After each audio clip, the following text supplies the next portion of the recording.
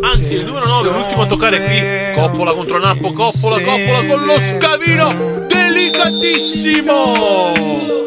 Che gol di Coppola! La dedica a Matteo Di Nolfi. Ma che tocco delicatissimo!